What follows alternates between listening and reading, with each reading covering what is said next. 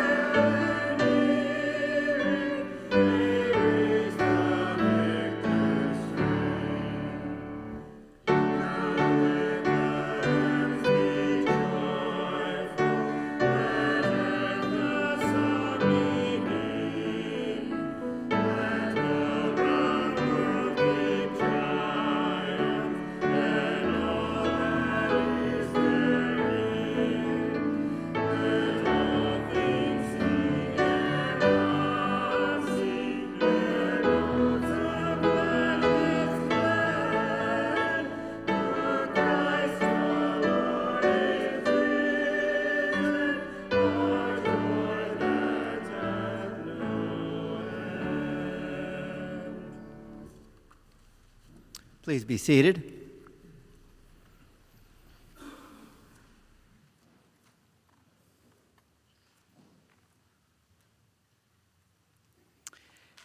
If we say we have no sin, we deceive ourselves, and the truth is not in us.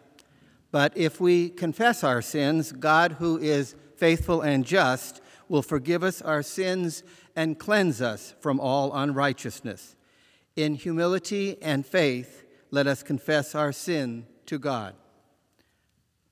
Please join as we say the prayer of confession, saying together Merciful God, the story of Jacob shows your willingness to enter into the messiness of our human struggles, into fractured relationships, family differences, unreconciled situations with people we care about. Yet, we confess that too often we hold on because we do not want to loosen our grip on our possessions and our selfish desires.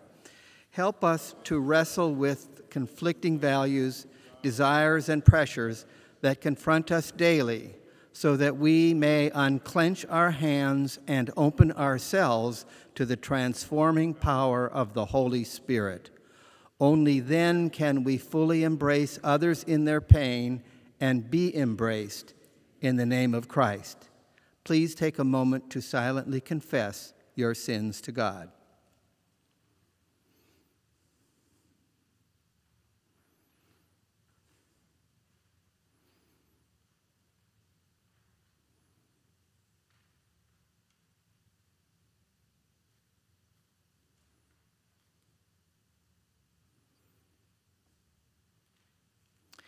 Heavenly Father, thank you for the powerful story of Jacob, who learned that it was not by his might or power, schemes or wit that he was blessed, but by your grace. And thank you that it is not by our might or power, good works, or good character that we are saved, but by your grace alone, through faith alone, in Christ alone. In Jesus' name, you are forgiven. If you are able, please stand for the Gloria Patri.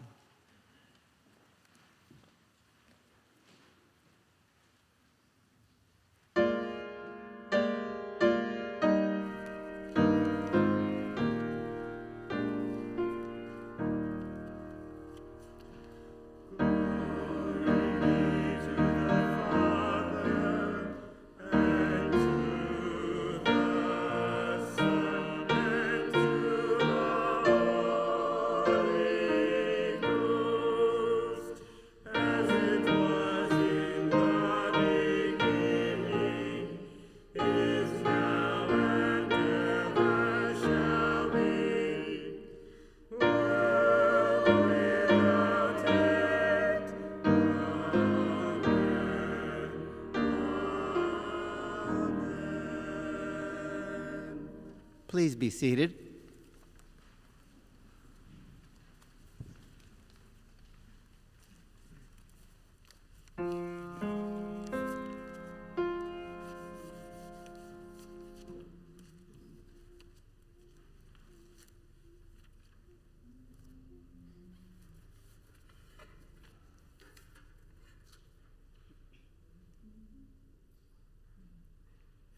It's alright. My Jesus said he'll fix it and it's alright. It's alright, it's alright. My Jesus said he'll fix it and it's alright. When it gets dark and I can't see my way, Jesus said he'll fix it and it's alright. I know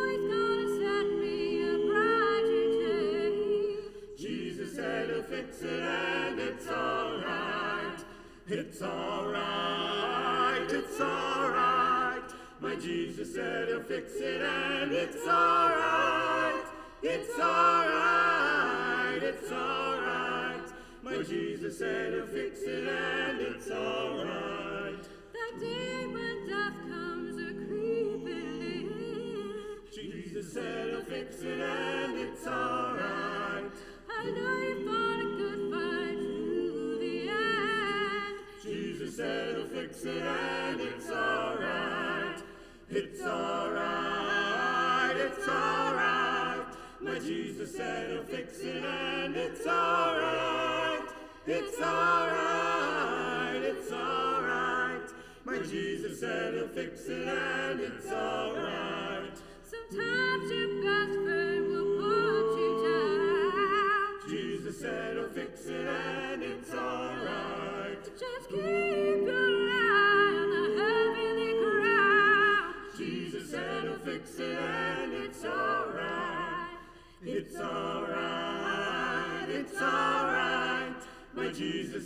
fix it and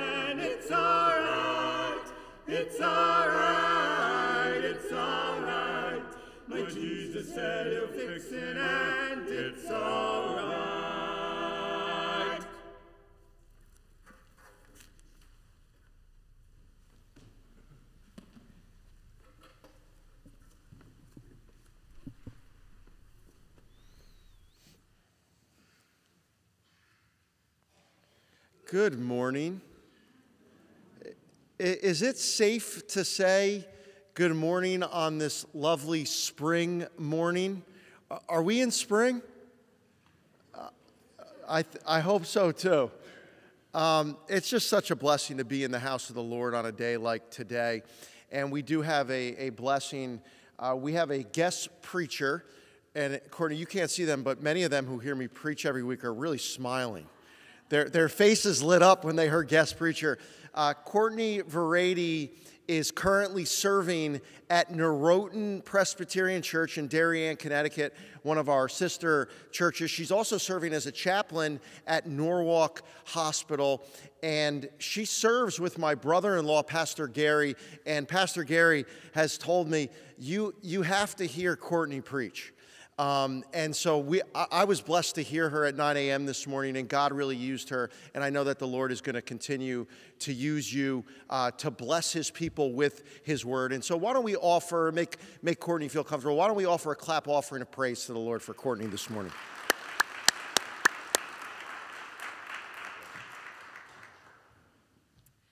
All right, good morning. It is a joy to be here with you all this morning. Thank you to Pastor Greg. Thank you, um, First Presbyterian Church, for having me. So, we are going to continue our journey through Genesis this morning. Um, so, before we start, let's pray and then we'll dive into God's Word. Lord Jesus, we thank you for this new day. We thank you for the sunshine out the windows, for the birds that are chirping, and for your mercies which greet us each and every morning. As we study your word together, we pray that you would transform us, keep changing us more and more into the likeness of Christ. We pray all these things in Jesus' name. Amen. Okay, so last week, Pastor Greg unpacked Genesis 27 with you all, if I remember correctly. He was talking about the blessing for dysfunctional families.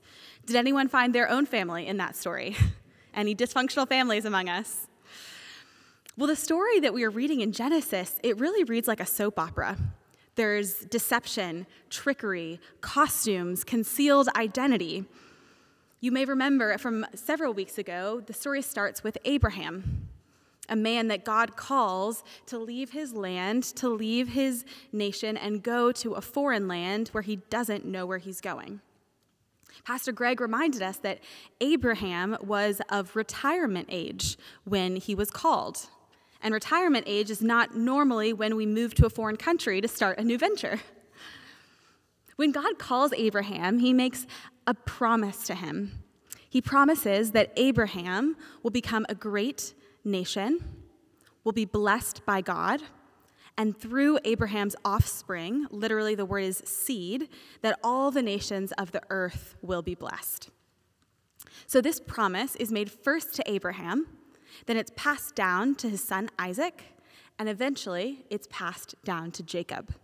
So before we get into our text today, I'm going to give you a brief rundown of the highlights of Jacob's life. So this is the spark notes of who Jacob is, and a lot of the stories may be familiar to you. They're quite iconic, many of them. So we'll do Jacob 101. So Jacob is the second born twin. His twin brother Esau comes out first. When Jacob comes out, he's grasping his brother's heel. And so his name becomes Jacob, which means heel grabber or deceiver. As the second born, Jacob would have less privileges. In that culture, the firstborn son got the power and the privilege and the wealth passed down to him. But he buys his brother's birthright for a bowl of stew. I don't know about you, but I would love that recipe. Whatever stew was good enough to sell your entire privileges as the firstborn, it must have been pretty delicious. Later in his life, we have more trickery when, together with his mother Rebecca, Jacob dresses up as his brother. This was last week's text, and tricks his father into giving him the blessing intended for Esau. So by this point, Jacob has already tricked his brother out of his birthright and his blessing. Now, if you were Esau, how would you be feeling? Not too happy, right? So, Esau, uh, Jacob hightails it out of there. Esau's not thrilled, conflict is brewing. Jacob hightails it out of there, goes into exile for 20 years. During this 20 years, we have the famous bride switch. He meets his match in Uncle Laban, Uncle Laban the trickster, who tricks him into marrying his, old, his older daughter Leah and then his younger daughter Rachel. The final iconic story we'll look at is Jacob's ladder. You may be familiar, this has been immortalized in art and music. Jacob has this dream when he's on the bank of the river and sees, sees angels ascending and descending a ladder. And during that dream, God reaffirms the promise made to Abraham. So that's Jacob 101. When we arrive in our text today, Jacob has left the land where he met Uncle Laban and is returning to his homeland. So he hasn't been home for 20 years. He hasn't seen his brother for 20 years. And they didn't leave on the best of terms. I wonder what Jacob would have been thinking and feeling in this moment. Perhaps some of us can imagine, perhaps some of us know what it's like to be estranged from a family member. Perhaps some of us know what it's like to be away from a town or a country that you love. We read in the beginning of chapter 32 that Jacob is afraid and distressed. This makes sense. We would be too. What's interesting is how Jacob responds. We see a twofold response from Jacob he prays and he plans. That's not a bad first takeaway for us, is it? What do we do in response to complex life situations? First, we can use the faculties God has given us and plan. Make a plan for how to address the situation. And second, we pray. Or first, we pray and then we plan. That's probably a better route. We submit those things to God. We invite the God of the universe to come to enter into our circumstance and to guide us. So, after making his prayer and planning his strategy, Jacob sends his family, his flocks, and his belonging across the river and stays the night alone on the riverbank. And that's where we pick up our story today. So I invite you to read along with me. The scripture is printed in your bulletin. Genesis chapter 32, verses 22 through 32. This is the word of the Lord. That night, Jacob got up and took his two wives, his two female servants, and his 11 sons, and crossed the ford of the Jabbok. After he had sent them across the stream, he sent over all his possessions. So Jacob was left alone, and a man wrestled with him till daybreak. When the man saw that he could not overpower him, he touched the socket of Jacob's hip, so that his hip was wrenched as he wrestled the man. Then the man said, Let me go, for it is daybreak. But Jacob replied, I will not let you go unless you bless me. The man asked him, What is your name? Jacob, he replied. Then the man said, Your name will no longer be Jacob, but Israel, because you have struggled with God and with humans and have overcome. Jacob said, Please tell me your name. But he replied, Why do you ask my name? And he blessed him there. So Jacob called the place Peniel, saying, It is because I saw God face to face, and yet my life was spared. The sun rose above him as he passed Peniel, and he was limping because of his hip. Therefore, to this day, the Israelites do not eat the tendon attached to the socket of the hip, because the socket of Jacob's hip was touched near the tendon. This is the word of the Lord. Thanks be to God. So, we're going to ask three questions of the text this morning. First, what do we learn about Jacob? Second, what do we learn about God? And third, how does this point us to Jesus? First, what do we learn about Jacob? Well, Jacob has perseverance.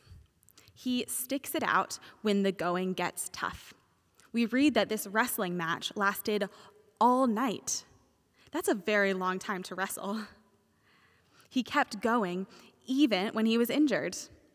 He wouldn't even let go of this wrestling partner until he received the blessing. Earlier in his life, we also saw his grit, his perseverance. He worked seven years to marry Leah, another seven years to marry Rachel. Even in the womb, we read that the brothers were wrestling. Jacob has perseverance.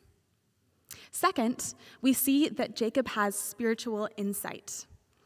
He recognizes at some point that this person he's wrestling is not merely a person, but is God. Now, pages have been written about the identity of this person. Is it God? Is it an angel? Is it a man? Is it Esau? We're going to follow Jacob's interpretation. And Jacob's interpretation is that it is God. God's presence in some way mediated through this wrestling partner. So, with that, question two What do we learn about God from this wrestling match? First, we see that God comes near. To wrestle with someone requires proximity. Jacob is in a messy situation.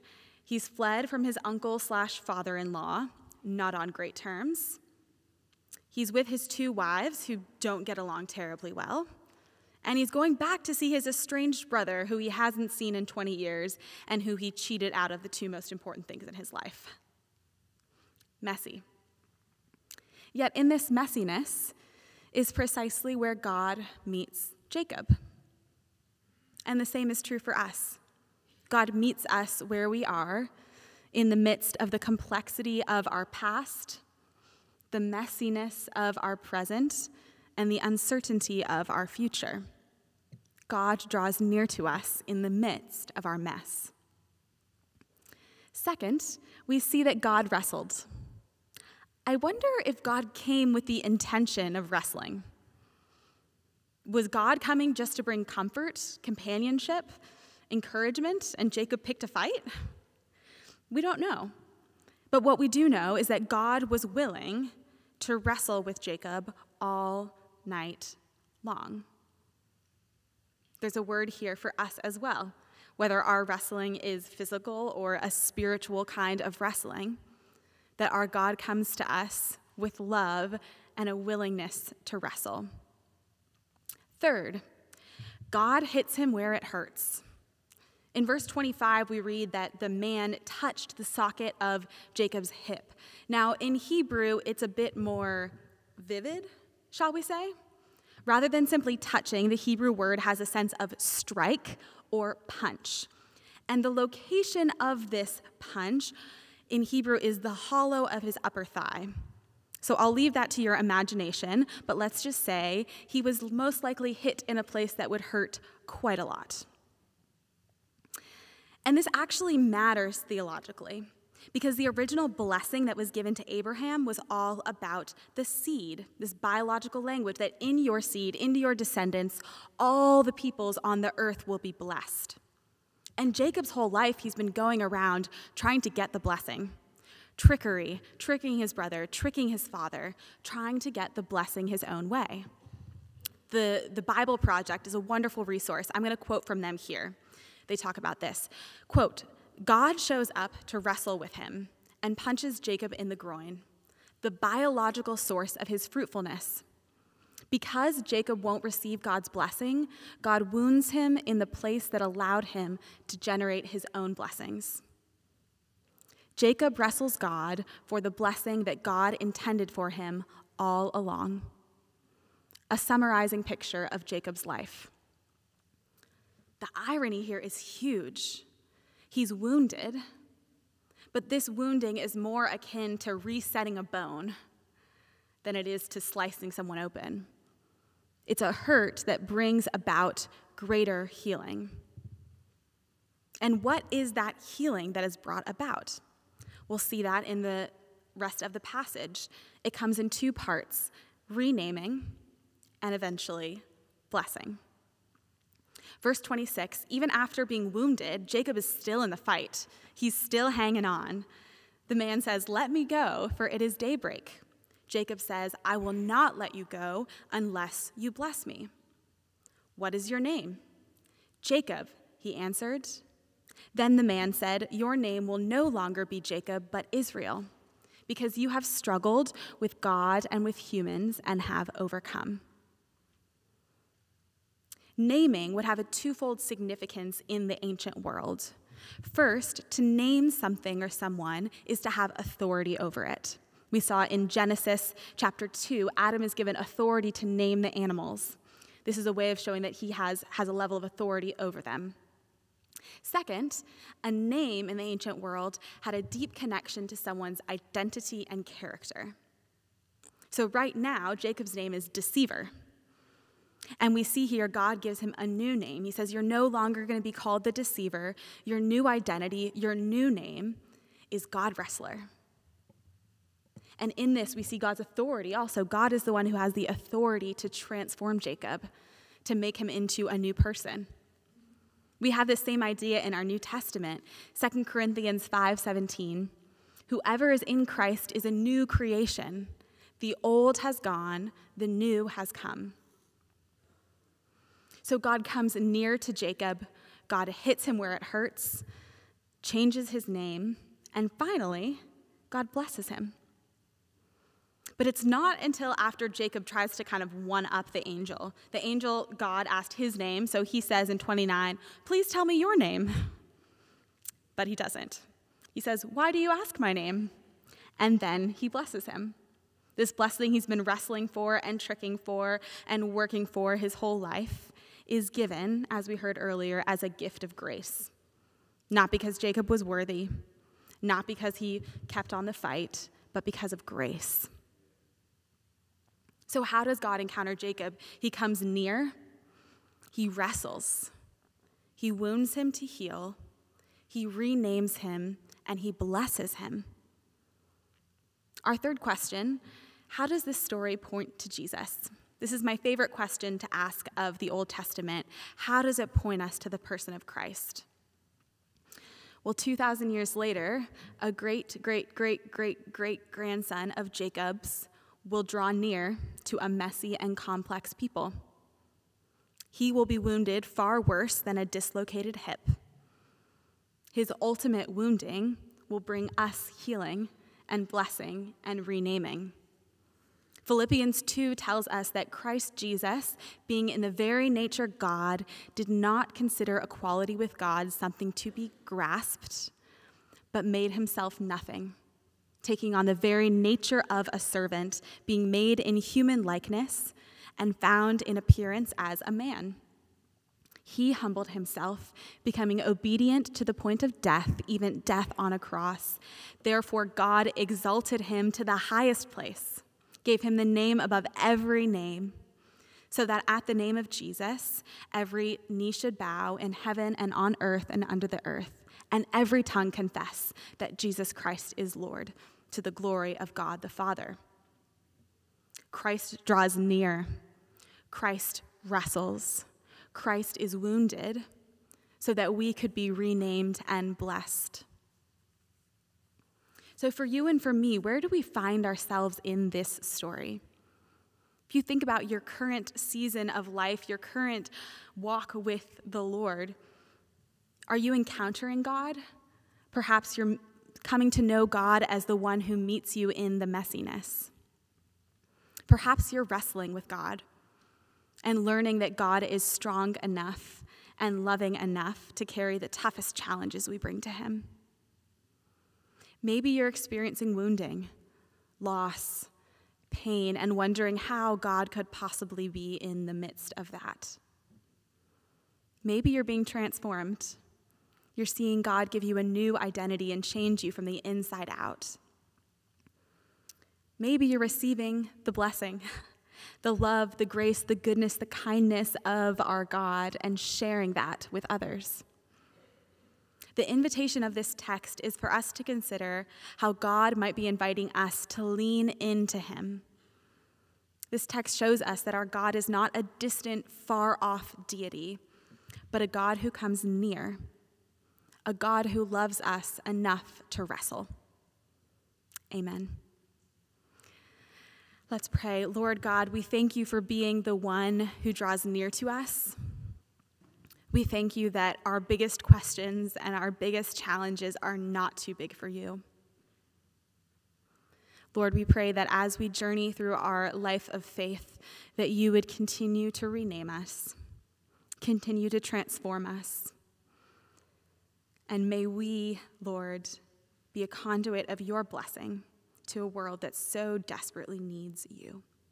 We pray all these things in the name of the Father, and the Son, and the Holy Spirit. Amen.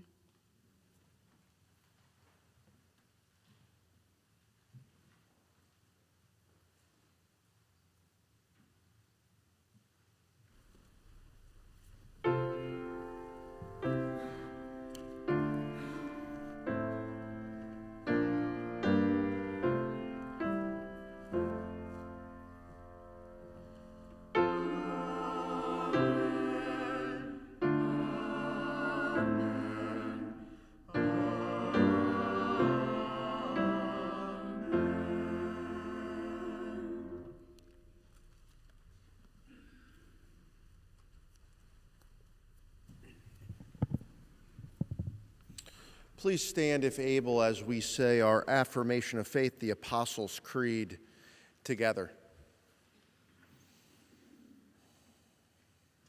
I believe in God the Father Almighty, maker of heaven and earth, and in Jesus Christ, his only Son, our Lord, who was conceived by the Holy Ghost, born of the Virgin Mary suffered under Pontius Pilate, was crucified, dead, and buried. He descended into hell. The third day he rose again from the dead. He ascended into heaven and sitteth on the right hand of God the Father Almighty. From thence he shall come to judge the quick and the dead. I believe in the Holy Ghost, the holy Catholic Church, the communion of saints the forgiveness of sins, the resurrection of the body, and the life everlasting. Amen. You may be seated.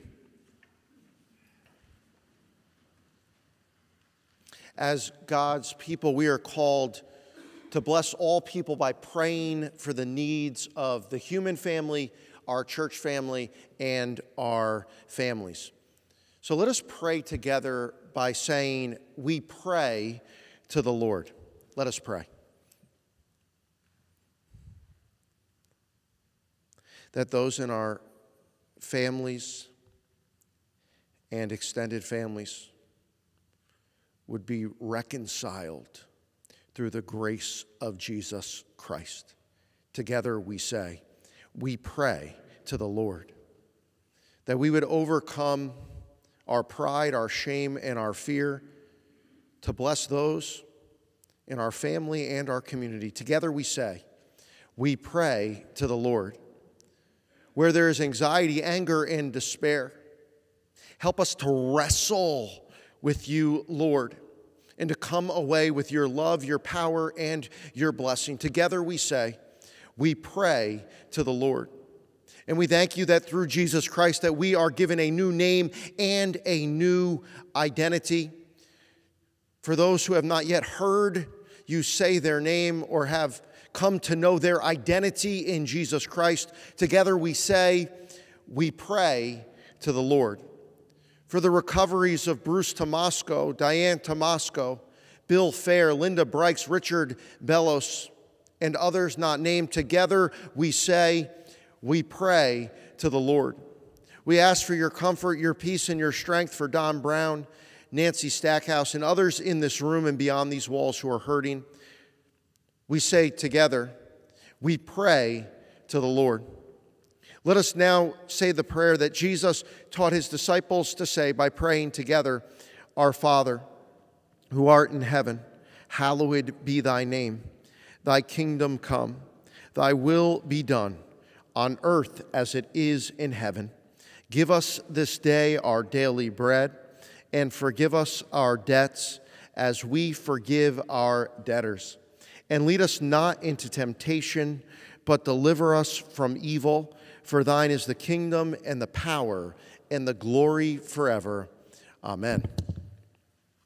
Well, good morning again, church. We are excited with what the Lord is doing among us and through our church family.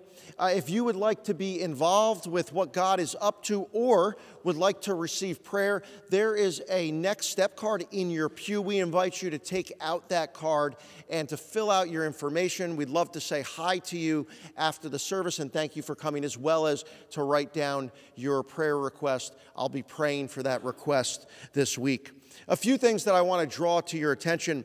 Uh, we are in a season of growth in our church by God's grace, and many of you are re exploring church or Christianity for the first time, and you feel like this church has become your church home, and you want to make it official. And that's why we do church membership. If you feel like God is calling you to follow Christ within this church community, you can just write membership on the back of your next step card and we'll get you plugged into the next steps. Also, we have a opportunity to serve out in our community. On the back of your bulletin, you will see the flyer and the QR code for Habitat for Humanity. This summer and this fall, we will be building a home with a family from our local community. If you'd like to get involved with that building project, you can write Habitat for Humanity on the back of the card. And ladies, our, our moms, our grandmoms, our aunts, um, our single ladies. You are all invited to our women's retreat that is happening in the month of April, April 26th. It's happening just down the street at the Morehouse. I've been to the Morehouse on retreat. Uh, it is like being transported to a peaceful, calm, uh, spirit filled world. They will take great care of you, ladies, on this retreat. And we expect that you will come away from this retreat with a greater sense of Christ's love for you and deeper friendships with other Christian women. If you're interested in the women's retreat, you can write that on your next step card and we'll get you plugged in to that retreat opportunity. And finally, we have a, a joyful announcement today. Uh, today is the day that Megan Anderson is beginning her ministry as our Christian education director. Megan, would you stand and would you just, yeah.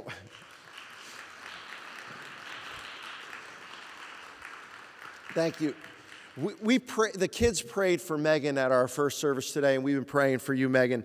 And we're just so excited about Megan because she just radiant, radi, she is just the radiance of Christ's love and joy and she is the radiance of Christ's love and joy for our children. And one thing that you know about our church, if you know anything about our church, is we are invested in the next generation.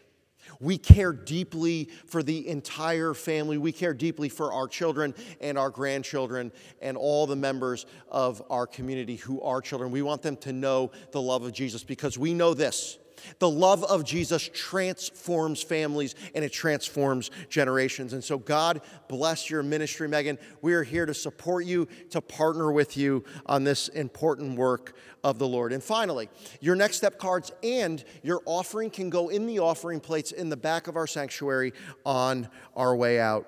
Let us now continue our worship of God by standing and singing our doxology and our closing hymn, number 464.